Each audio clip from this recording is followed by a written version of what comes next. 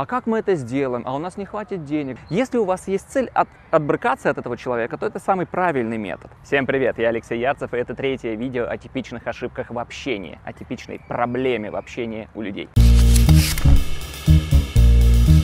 Да, действительно, есть три типичные ошибки, и про это я уже говорил в своих предыдущих видео, поэтому подписывайся на этот канал, если ты новичок. Типичные ошибки, которые являются привычками в коммуникации людей, то есть они есть у всех, даже у хороших коммуникаторов, типа телеведущих или актеров или знаменитостей, они тоже совершают эти ошибки, иногда просто значительно реже, чем другие люди. И смотря эти видео или обучаясь на моих живых курсах, ты можешь избавиться от этих ошибок и сделать свою коммуникацию более эффективной.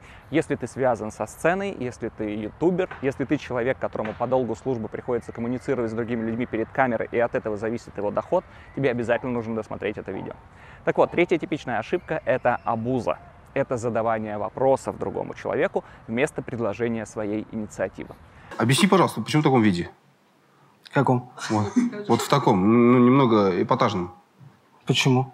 Ты считаешь, это нормально? А ты что, считаешь, что нет? Как это выглядит? Например, давай сходим в кино. А когда? В 12. 12 я не могу. Человек не предложил своего времени, не предложил чего-то вместо кино. Он просто заобузил другого вопросами. Если у вас есть цель от, отбрыкаться от этого человека, то это самый правильный метод. Очень часто его применяют политики, когда им не нравится вопрос, они начинают задавать встречные вопросы. Еще один вопрос, такой ну, жестокий, с журналистской точки зрения, извините, пожалуйста. Может, вам кофе? Вы пьете кофе? Нет, спасибо. Мы хотим каждую секунду. Вы хотите кофе? Мы вам не мешаем секунды задавать. Принесите нам кофе. Он говорит, ну, хорошо, я отвечу на вопрос, но вы секундочку просто ответьте. Вот просто ответьте. Тот говорит, нет, вы ответьте. Нет, ну просто ответьте, пожалуйста.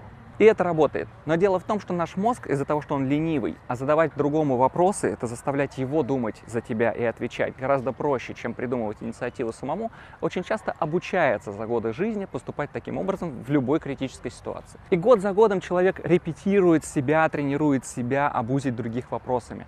И в результате он превращается в человека, с которым не хочется иметь дело, потому что он будет спрашивать по любому поводу. Я даже сталкивался с девушкой, которая спрашивала о вещах, которых я точно не имею понятия. Мы точно успеем на этот автобус? А во сколько он идет? Слушай, а если он будет переполнен? То есть человек выгружает всю ответственность за принятие решений на другого человека. Почему этого делать не надо, хотя кажется, так было бы здорово обузить всех вопросами? Потому что сильные игроки, и в импровизации вы это заметите, очень быстро перестанут с вами играть. Они просто будут избегать коммуникаций с вами. Я понимаю, что вам непонятно. Всего хорошего. Возможно, если вы начальник, руководитель, то вы сталкивались с тем, что сотрудник, когда ему хочется что-то делать, он говорит, да, я сделаю, а когда ему не хочется сделать, он говорит, а как мы это сделаем, а у нас не хватит денег, да, они нам не позволят, да, ну ты думаешь, это, этого будет достаточно? Да нет, это никогда не получится. No, God! No, God, please, no! No! Они задают вопросы, как ты хочешь, чтобы я это сделал? Очень часто ребенок, если вы родители, вы тоже замечали, что очень часто ребенок, которому говоришь, заправь постель, а как я заправлю, там Маша. То есть он придумывает какой-то вопрос, который заставляет вас за него придумывать решение. Когда человек хочет, и ему нельзя, допустим, ребенку, на ребенке это очень хорошо заметно, он сам придумает метод, как ему это сделать. Когда он не хочет, он начнет вас спрашивать, что вы придумали этот метод, и пока вы будете его придумывать, он вас отвлечет и, может быть, закидает вопросами так, что вам будет проще сделать самому. Если вы с таким поведением сталкивались, поставьте, пожалуйста, пишите свою историю в комментариях или просто поставьте плюсик в комментариях, потому что для руководителей это прям типичная проблема. Туши! Туши! Порвался! Порвался! Бежал! Туши! Туши! Туши!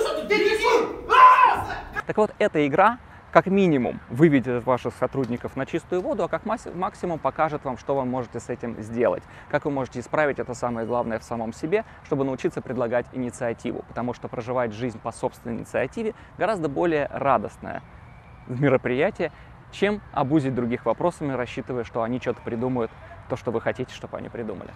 Поэтому, если вас заинтересовала эта тема, то вы можете прочитать об этом подробнее в моей книге про импровизацию, ссылку вы найдете в описании, либо если вы хотите вживую, и я вам настоятельно рекомендую вживую, потому что очень, это очень эффективный тренинг, это лучше актерского мастерства. Здесь вы одновременно являетесь сценаристом, режиссером и тренером самого себя, потому что вы будете разглядывать свое собственное поведение на сцене. Приходите на живое обучение. Спасибо, что посмотрели эту серию видео до конца. Ставьте лайк, подписывайтесь на мой канал и до встречи следующей серии.